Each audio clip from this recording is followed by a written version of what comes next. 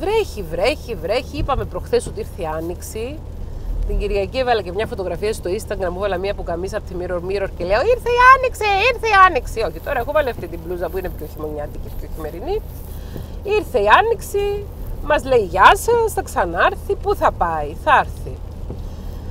Και όσο σκέφτομαι ότι σήμερα, αύριο θα πετούσα για την Αθήνα και θα ερχόμουν για να κάνουμε το σεμινάριό μας και να βρεθούμε από κοντά και να αγκαλιαστούμε ανένοχα και να φιληθούμε ανένοχα και δεν μπορούμε να το κάνουμε αυτό, λίγο στενοχωριέμαι για να είμαι ειλικρινής, όμως είμαι σίγουρη ότι όταν ανοίξει ο καιρός και όταν αποφευχθεί ο κίνδυνος που νομίζω ότι μπορούμε όλοι και στην Κύπρο και στην Ελλάδα να, να δράσουμε με υπευθυνότητα και αγάπη ο ένας προς τον άλλο και να προστατεύσουμε αυτούς και αλλήλους, τότε θα μπορούμε να κάνουμε και το σεμινάριο μας και άλλα σεμινάρια και πολλά άλλα πράγματα.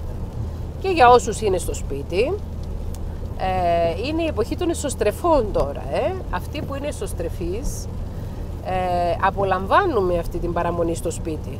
Οι εξωστρεφείς δυσκολεύονται να μαζευτούν.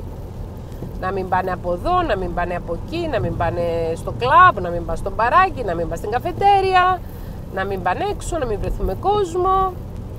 Ε, όσοι είναι εξωστρεφείς και θα αναγκαστούν να μαζευτούν στο σπίτι, αυτές τις μέρες μπορούν να εξερευνήσουν κάποιους κόσμους μαγικούς που μπορείς από το σπίτι άνεδος να εξερευνήσεις, όπως να διαβάσεις ένα βιβλίο ή να παρακολουθήσεις ένα ντοκιμαντέρ ή να δεις εκείνη τη σειρά που εδώ και καιρό έλεγες «Αχ, να δω αυτή τη σειρά και δεν την είδα». Να δεις αυτή τη σειρά. Και υπάρχουν πολλές ωραίες σειρές να δει κάποιος. Μιλάω τώρα για ε, αγγλόφωνες σειρές, ξένες σειρές, ισπανόφωνες σειρές, τις οποίες μπορεί κάποιος να τις δει είτε από την πλατφόρμα του Netflix που οι περισσότεροι από εμάς είμαστε εγγεγραμμένοι, είτε από το YouTube μπορεί να τις δει, είτε να τις κατεβάσει με κάποιο άλλο τρόπο. Ε, έχει πολύ ωραίες σειρές οι οποίες είναι και αρκετές από αυτές είναι και έτσι προσεγμένες, προσεγμένες παραγωγές, ωραία σενάρια, ωραία σκηνοθεσία, ωραία ηθοποιία που μπορείς να δεις κλασικά, κλασικές σειρές που δεν τις έχεις δει. Για παράδειγμα, ο Παναγιώτης αυτές τις μέρες ανακαλύπτει το Breaking Bad. Το Breaking Bad είναι μια σειρά η οποία είχε ξεκινήσει το 2008 είχε τελειώσει το 2013, εγώ την είχα δει, το, είχα αρχίσει να τη βλέπω το 2011 και την είδα μέχρι το 2013, η οποία μου άρεσε πάρα πολύ. Είναι μια σειρά έτσι λίγο εκκεντρική, λίγο περίεργη. Είναι με έναν τύπο ο οποίος είναι γύρω στα 50, είναι καθηγητής χημίας, ζει μια ζωή πολύ συμβατική, είναι πάρα πολύ προσεκτικός, νομοταγής κτλ. Και, και ξαφνικά διαγιγνώσκεται με καρκίνο και παθαίνει πελάρα που λέμε στα Κυπριακά, παθαίνει τρέλα δηλαδή and he breaks bad και γίνεται κακός και ξεκινάει ένα παράνομο εργαστήριο που μαγειρεύει ε, crystal meth. Crystal meth είναι ένα ναρκωτικό. Δεν είμαστε υπέρ φυσικά του να μαγειρεύουμε ναρκωτικά και να παίρνουμε ναρκωτικά. Αυτή η ταινία είναι ταινία για ενήλικες, να τη δουν μεγάλοι άνθρωποι που έχουν την οριμότητα να κρίνουν ότι η ταινία έχει ένα χαρακτήρα ε, βαθιά φιλοσοφικό και ηρωνικός προς τα κοινωνικά δρόμενα Πολύ ωραία σειρά αυτή, τη βλέπει ο Παναγιώτης τώρα και τη βλέπω και εγώ μαζί μου, την είχαμε δει παλιά. Μια άλλη πολύ ωραία σειρά είναι η σειρά Six Feet Under, η οποία είναι 20 ετών σειρά. Ε, είναι μια οικογένεια που έχουν έναν οίκο τελετών. Πολύ ωραία σειρά αυτή, έχει πάρα πολύ ωραίο χιούμορ.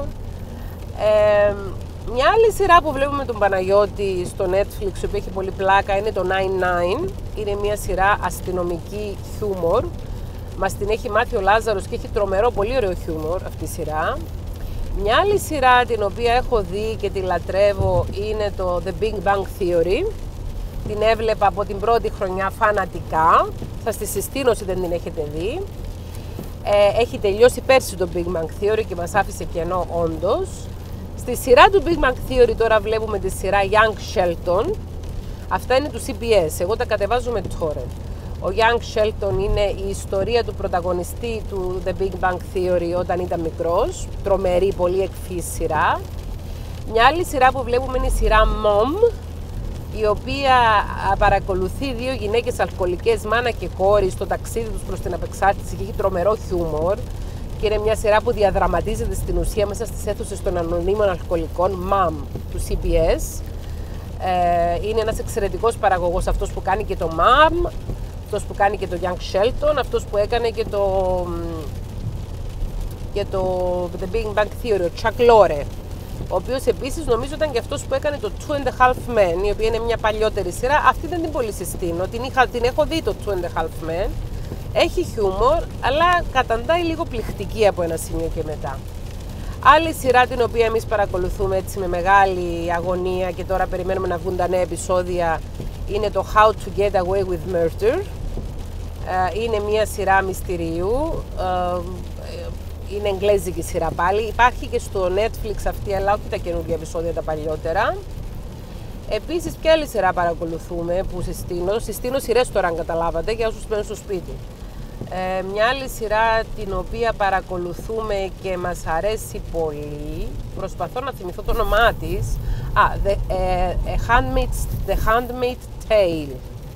Υπάρχουν δύο σεζόν από το The Handmaid's Tale, τρεις αν δεν κάνω λάθος. Είναι φοβερή σειρά του HBO. The Handmaid's, A Handmaid's Tale, The Handmaid's Tale είναι μια ουτοπική ιστορία για έναν κόσμο στον οποίο έχει ε, φανταστικά τώρα. Έχει επικρατήσει ε, ο συντηρητισμός, πώς θα είναι η Αμερική όταν αποκοπεί από τον κόσμο, τρομερή σειρά. Ε, έχει να κάνει πάρα πολύ με το σεξισμό αυτή η σειρά, έχει να κάνει πολύ με τη θέση της γυναίκας, έχει να κάνει πολύ με τη θρησκεία, τον πουριτανισμό κτλ. Τρομερή σειρά. The Handmaid's Tale, του HBO είναι αυτή η σειρά. Και επίσης στο HBO εξαιρετική σειρά είναι το Big Little Lies μικρά μεγάλα ψέματα, στα οποία, στα οποία, στην οποία πρωταγωνιστούν η Νικόλ Κίτμαν και διάφορες άλλες πολύ γνωστές ηθοποιοί που έχουν καταπληκτικές ε, ερμηνείες. Ε, μια άλλη σειρά την οποία έβλεπα παλαιότερα πρωτού γνωρίσω τον Παναγιώτη και δεν αρέσει τον Παναγιώτη και δεν τη βλέπουμε μαζί είναι το The Affair. Μου είχε αρέσει πάρα πολύ, ειδικά η πρώτη και η δεύτερη σεζόν. The Affair. Και αυτή, αν δεν κάνω λάθος, είναι του HBO, δεν είμαι σίγουρη. Αυτά σας έχω πει ένα σωρό σειρές. Άντε! Μ' αρέσουν οι σειρές και το binge, binge watching. Binge watching των σειρών. Α, το να παρακολουθείς συνέχεια. Α, μια τρομερή σειρά που αν δεν την έχετε δει πρέπει οπωσδήποτε να τη δείτε. Είναι η σειρά του Ρίκι Τζερβέ. Ο Ρίκι Τζερβέ είναι ένας πολύ γνωστός ε, Εγγλέζος κόμικος ο οποίος έχει συνταράξει τον κόσμο όλο, με, τους τα είπε κανονικότατα ε, φέτος στην παρουσίαση του Globe Awards. Ο Ρίκι Τζερβέ λοιπόν πρωταγωνιστής στη σειρά ε, Afterlife που περιμένουμε τις επόμενες μέρες να βγουν τα καινούργια επεισόδια, η δεύτερη σεζόν. Εξαιρετική κομμαύρη κομμωδία, Afterlife. Και επίσης ψάξτε και τα προηγούμενα έργα του Ρίκι Τζερβέ, τις προηγούμενες σειρές τις οποίες ε, πρωταγωνιστούσε ο Ρίκι Τζερβέ. Τώρα, τώρα θυμάμαι τη σειρά, αλλά δεν θυμάμαι το όνομά της. οπότε δεν θα την πω. Δεν μιλάω για το Office το εγγλέζικο, μιλάω για μια άλλη σειρά που είχε, είχε πρωταγωνιστούσε ο Ρίκη, Ρίκη Τζερβέ. Ψάξτε στο ίντερνετ σε ποιες σειρές έχει πρωταγωνιστήσει ο Ρίκη Τζερβέ. Ε, στην οποία έκανε τον τρόφιμο ενός ιδρύματος. Τρομερή σειρά κι αυτή. Εξαιρετική σειρά. Εξαιρετική σειρά. Λοιπόν, αυτά.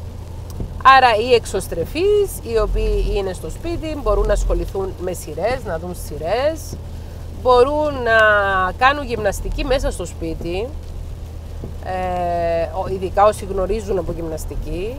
Ο άντρας μου έχει ένα στρωματάκι της γιόγκα και κάθεται και κάνει τις ασκήσεις που του έχει δείξει ο φυσιοθεραπευτής, φυσικοθεραπευτής.